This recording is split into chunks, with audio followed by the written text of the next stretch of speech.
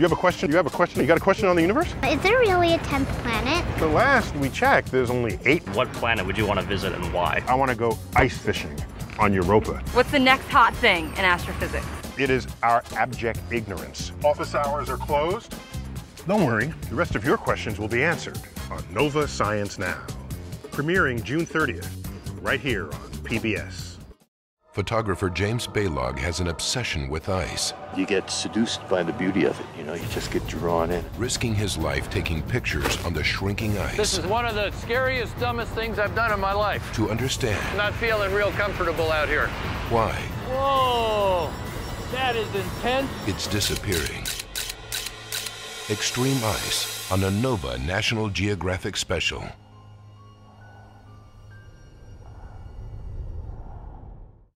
A spacewalker practices a critical maneuver. It's not working as well as we had hoped. To save a dying explorer, the Hubble Space Telescope.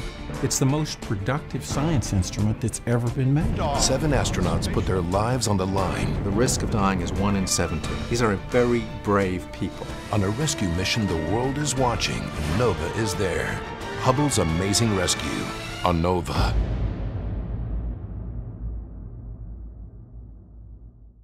The Great Sphinx, a head as big as a house, its paws as long as a city bus, its body about the length of a football field and as tall as the White House. It was the first time in the history of Egypt that they created sculpture at this scale. How did the ancient Egyptians build it and why? Riddles of the Sphinx on Nova.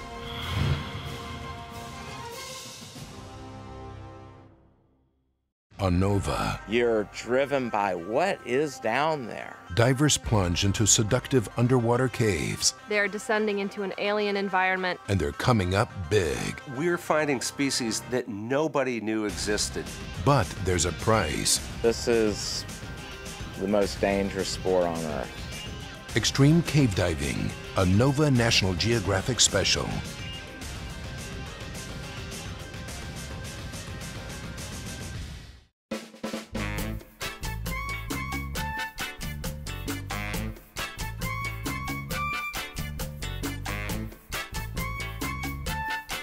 Dr. Neil deGrasse Tyson had become a planet pilfering, sky squishing, Pluto pulverizing marauder of the cosmos.